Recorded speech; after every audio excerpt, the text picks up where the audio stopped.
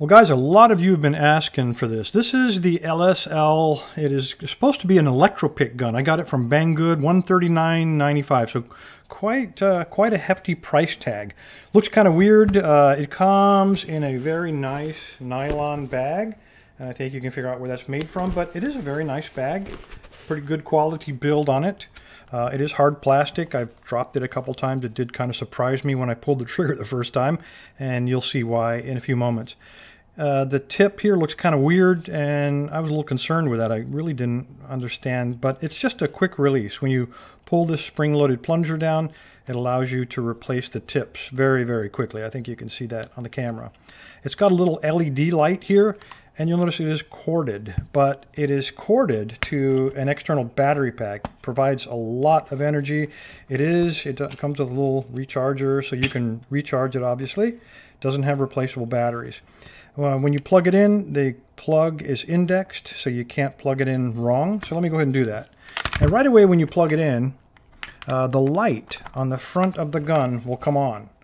But I think that's just if you're in a darkened hallway or something, kind of lets you get everything set up, gives you an external light, because when you pull the trigger, nothing happens until you get to this potentiometer and you turn it on. Of course, the red indicator light comes on. And I'm just going to barely, I'm going to turn it on and then turn it up just a little bit and that potentiometer will regulate how much voltage goes to this gun. Now this is fully adjustable. I was surprised by this. So when you pull the trigger, it gives you a one in, about a one second burst of energy. Now this is the lowest level. And that's kind of what I would expect from an Electropick. But this thing's got a lot of extra power built and I'll turn it up just a little bit more. It's not even halfway yet.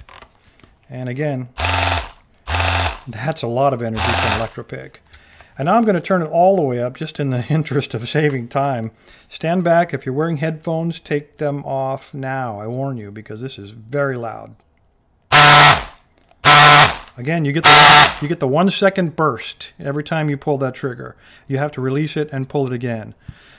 At that level of energy, I would imagine that there's probably going to be some damage done to the lock, but it will definitely jiggle those pins. So I'm going to go ahead and show you. There are a bunch of tips that come with this. Let me go ahead and move the gun out of here.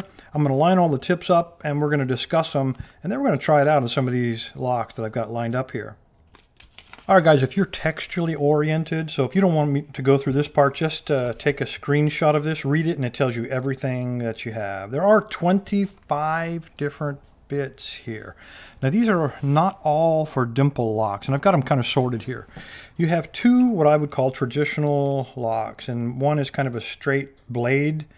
I couldn't find any locks that would fit into in my collection, nor this one. This is not a Yale, but uh, it does have warding in it. So I would imagine in China, these are probably quite useful.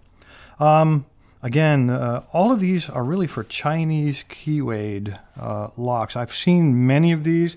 In fact, I've picked many. These are three different double rows of locks, and uh, they are not the same keyway though. So you have three of the double row traditional pin tumblers. Then you have three that I really don't know.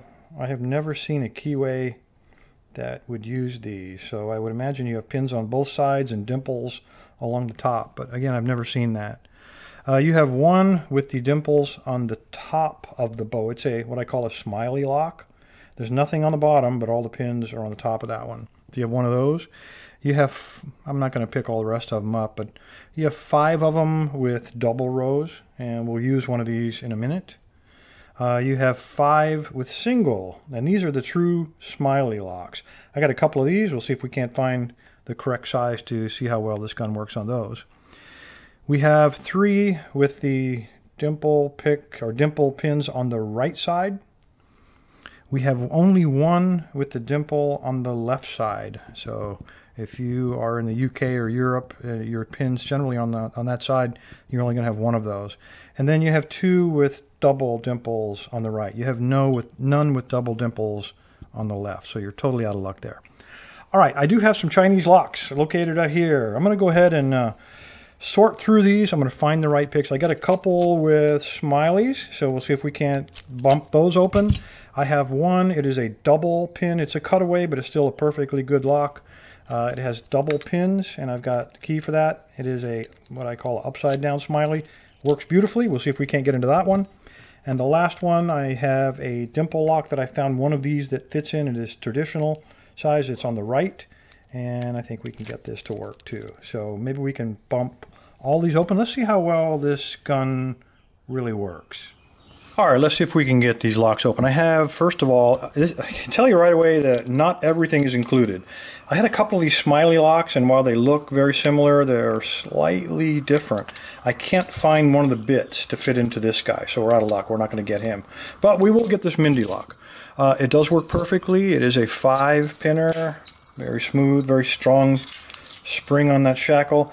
It's a five pinner and it looks like it's going to be quite a challenge. We've got some really serious high-low, high-low, which is really pretty a, a, good problem for to try to bump uh, something like that open. I did find a bit that does fit this one and it slides in pretty nicely. So let's go ahead and take the gun and the way it works is you pull that plunger down, you slide your bit in there and you release that plunger and it kind of traps that bump key inside of there. I am going to turn this on very low setting, so it'll look like this, earphones off. So not a lot of energy on that. Let's just see if we can... Now, I will tell you this is spring-loaded either way, so you can open it to the left or to the right. So the instruction video says turn it very slightly, and that way you start bumping. If you already have a little bit of torque on it, when it opens, it'll automatically spin for you. So let's try that. This does turn clockwise. Uh, so I'm going to hold him like like this. He is locked, by the way. I'm going to turn it and then hang on to him because this thing is very powerful. It will bounce it out of your hand. I'm trying to hold the lock as steady as I can and we don't have an open. I just don't think there's enough energy there. So I'm going to turn it up a little bit and then we're going to try it again.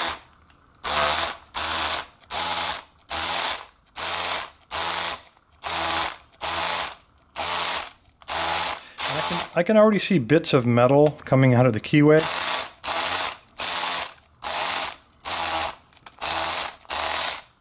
And we don't have an open yet.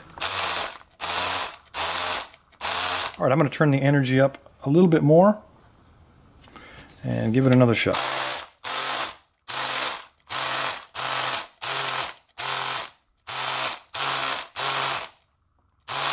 There we go. Now we got an open. All right. So the thing does work, at least on Mindy Smiley locks. Let's try it on another one. Um, let me take this bit out. And I have another one. This is for the cutaway. This is probably going to be a little more. It's twice the number of pins. 10 pinner. I got the right one. It slides in there very nicely. And I'm going to leave it on the same power level. It seems to be about right. Come on. Get in there. All right. Slide it in there. I'm going to hang on to the lock now because it should be in a vise or in a door. I get it, but we're making do here. All right, very slight turn, and let's get an open on this guy.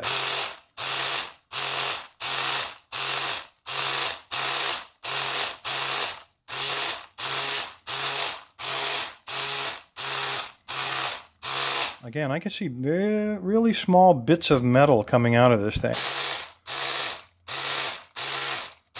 This is probably not good for the longevity of your, lock. Yeah, I had a piece of metal actually. I don't know if you saw that. That just flew out of there.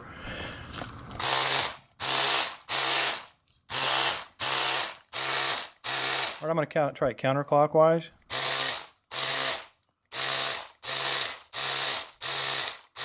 All right, I'm going to turn this all the way up to the maximum.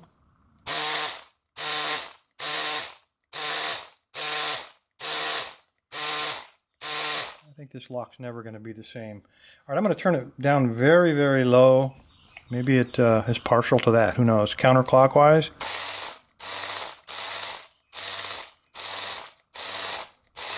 Clockwise.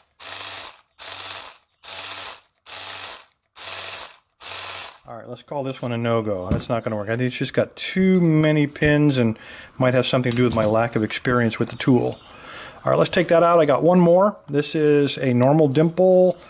I have the bit for it, and here's what the key looks like. Again, very, very challenging. We have four very deep cuts, and then especially that guy is going to be hard, and then some very high cuts back there. So we'll see what happens on this. It is a seven pinner. Works beautifully. Let's see if we can get into this with this bump gun.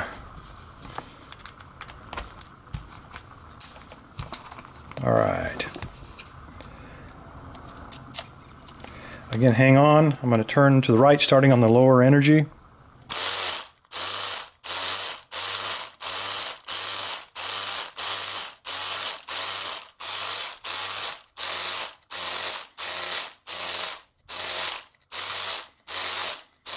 I would have bet that we'd have better luck with this thing. I'm going to go counterclockwise.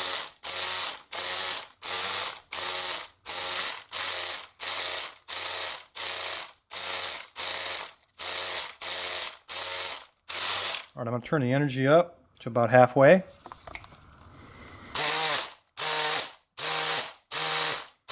Again, I'm seeing bits of metal coming out of the key. All right, I'm going to go counterclockwise. Tighten this screw up. He's about to come out of there. A lot of vibration on this thing. All right, maximum setting.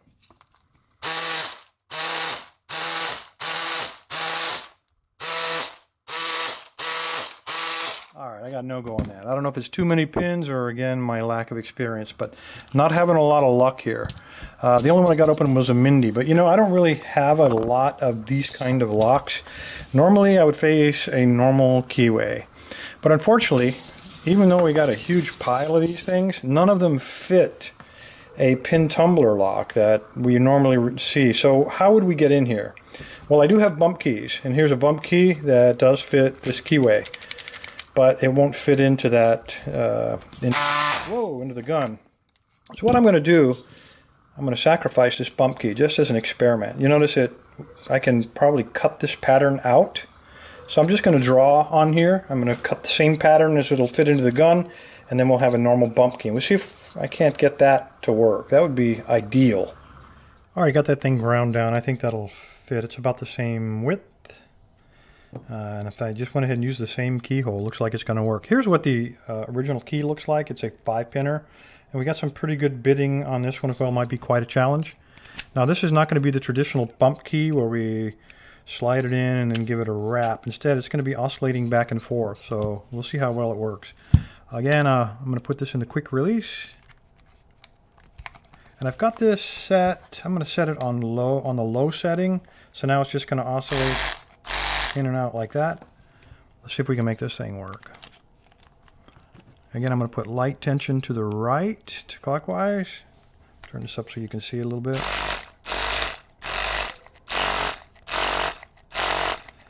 Okay, I think that's too gentle. We'll turn it up about halfway. It's not striking the keys with the, or the pins with enough energy to cause them to bounce, and that's what we're after here.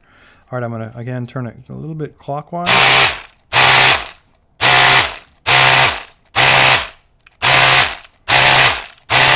Try it counterclockwise.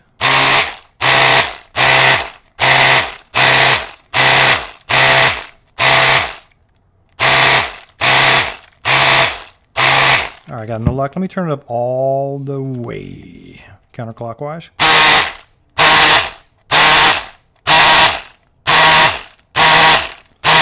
That actuator is turning because this is a thumb turn. It'll it floats freely back there, so we do not have an open. I'm trying to open the lock.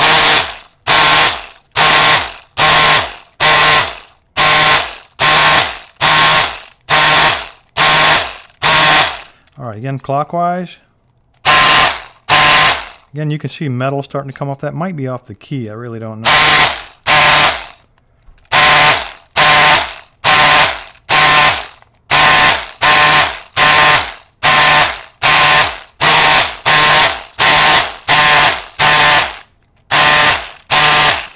All right, I'm going to have to call this a no-go. It might work on Chinese locks that you happen to have the right key for, but Unless you're willing to put a lot of work into making your own bump keys and trying it this way, I just don't think you're going to get a lot of use out of this LSL. It's a quality gun, and I'm sure it works perfectly fine on Chinese locks. If that's the kind of lock that you face all the time, then I'd probably recommend it.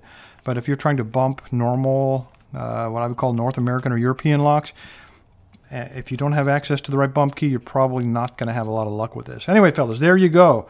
Um, if you'd like to win this, you know what to do. There's the website. I'm going to give this away next Saturday.